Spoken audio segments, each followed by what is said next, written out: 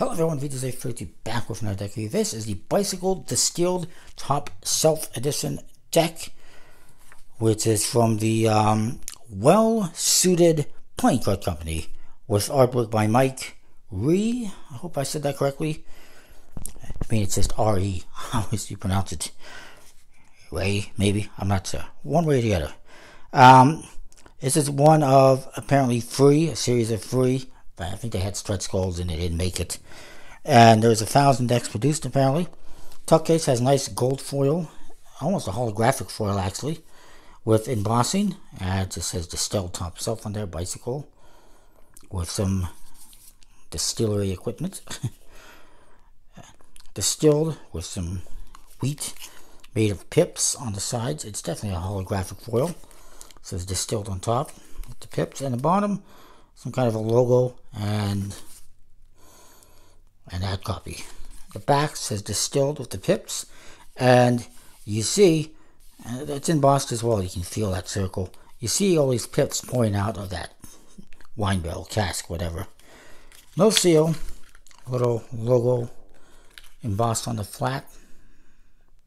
First, it says, that's cool.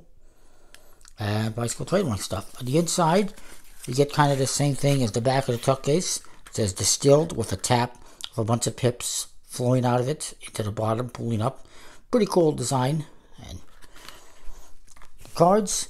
Aha! it looks like it's some kind of a bird. That's the logo, I guess, well suited for pips. It has metallic inks on the faces and the backs. Back design's pretty simple. I like how it's got like uh, a combination of three major back designs. You got the diamond back pattern, which is representative of B decks, circle, which is representative of tally hos, and these two circles are representative of bicycle rider backs. I think that's pretty cool. We got a bunch of pips in there. I'm not sure what's supposed to be going on. Maybe it's mixing something. If you get a double backer as well. The Joker's very colorful. Reminds me of that Mardi Gras deck from a couple years ago from the Edgy Bros. It says Joker and distilled in the corners. And the other one is the same. Here's the spades.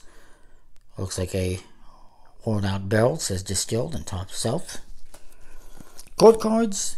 Completely custom. People enjoying apparently pip shaped beverages. or beverages with pips in them. Unfortunate part is this is what you get for the jacks. This is what you get for the kings. And this is what you get for the queens. It's repetitive court cards. That's the only unfortunate part. Number cards are just standard. Overall, pretty nice deck.